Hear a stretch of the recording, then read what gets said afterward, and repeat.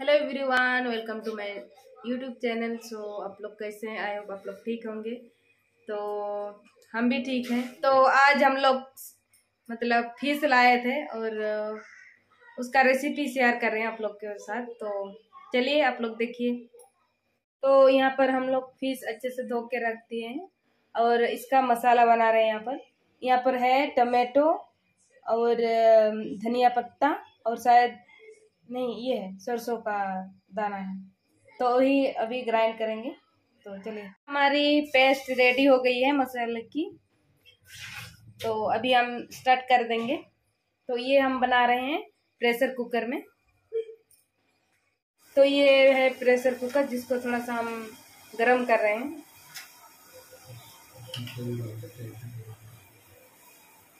तेल गरम करना है थोड़ा सा। तो पहले पानी को सूखने देते हैं। पानी सूख गया है। अभी हम तेल डाल रहे हैं ये सरसों का तेल। थोड़ा सा ज़्यादा नहीं।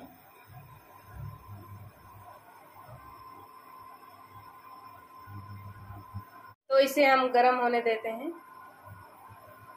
तेल गरम हो चुका है तो हम इसको नीचे उतार दिए प्रेशर कुकर को और सीधा ये फ़िश डाल रहे हैं इसमें। मैरिनेट करने के लिए।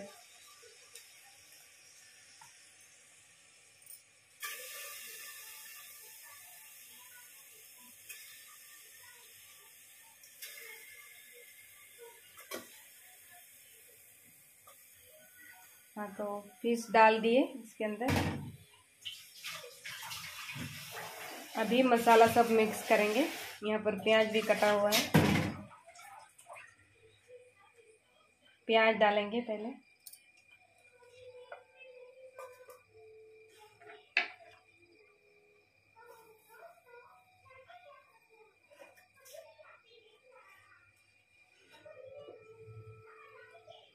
डाल दी। इसके बाद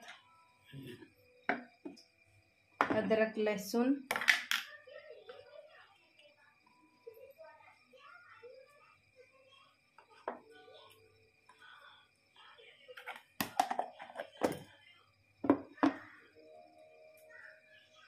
अब दही थोड़ा सा।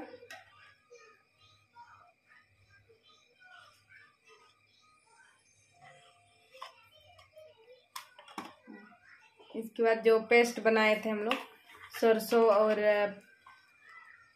टमेटो और धनिया पत्ता का, वही वाला डालेंगे।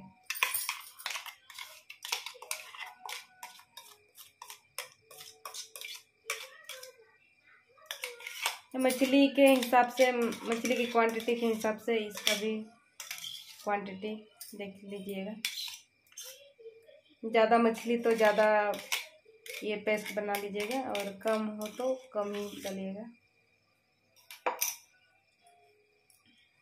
और अभी हम इसमें थोड़ा सा हल्दी डालेंगे।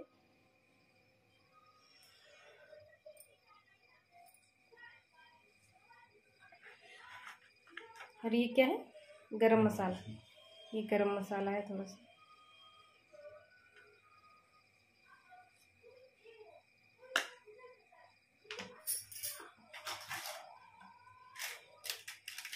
कलर के लिए थोड़ा सा कश्मीरी मिर्च।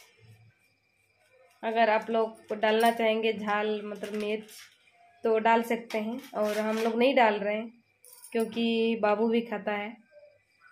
तो आप लोग चाहे तो कच्चा मिर्च भी डाल सकते हैं। और ये नमक है।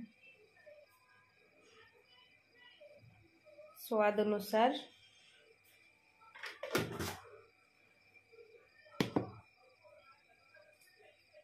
अब थोड़ा सा, और थोड़ा सा सरसों का तेल।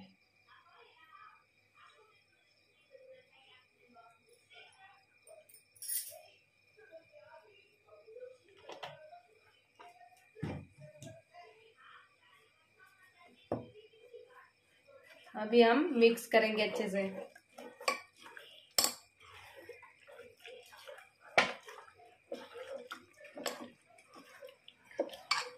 अगर आपके पास फ़िश करी का मसाला भी हो तो लगा सकते हैं, क्योंकि अभी हम लोग के पास नहीं है, ख़त्म हो गया है तो नहीं डाल रहे हैं।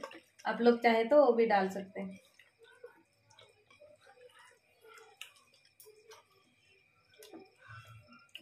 अच्छे से मिक्स कर दीजिए।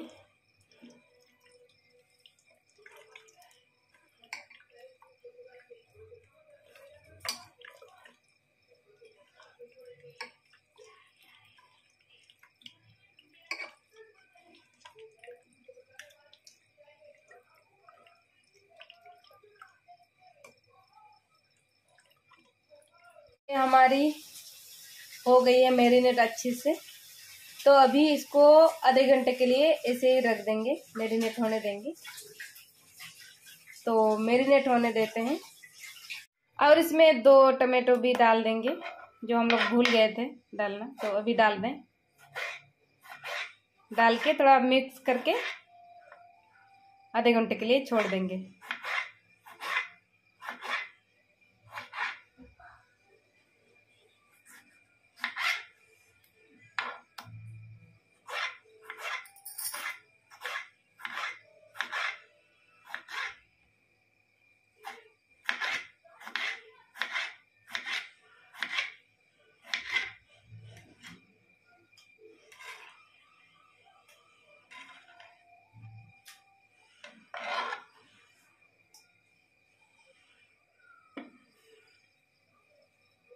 तो ये आधे घंटे के लिए मेरीनेट हो गए। तो इसके जो मसाले बनाए थे, उसी में थोड़ा सा पानी डाल दिए थे तो वही वाला पानी इसमें डाल दिए।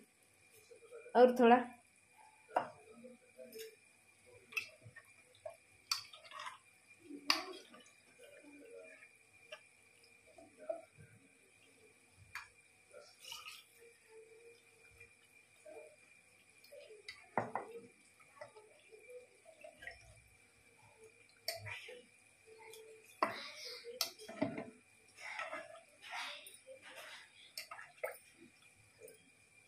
हाँ ज़्यादा पानी नहीं डालेंगे, नहीं तो ये हो जाएँगे, मेल्ट हो जाएँगे।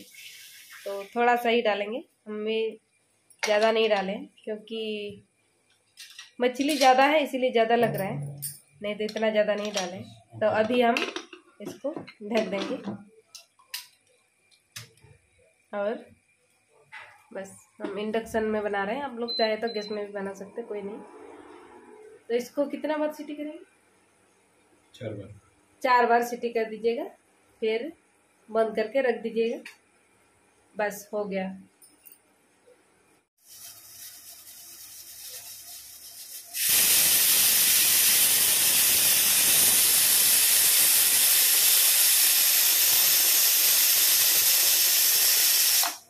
तो देखते हैं, ये हो चुका है।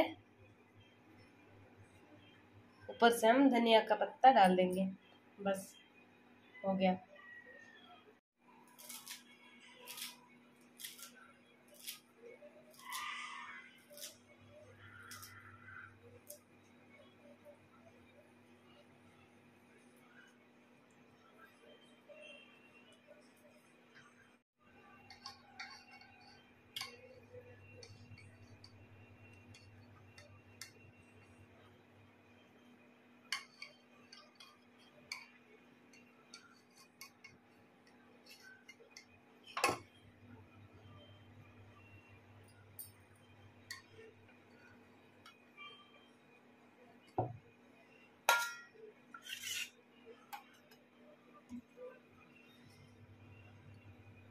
तो ये हो गया कंप्लीट आप लोग कभी ट्राई करना।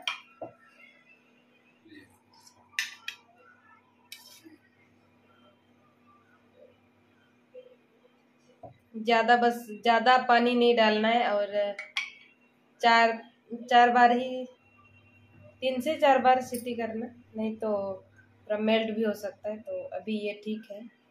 अच्छे प्रॉपरली बना हुआ है।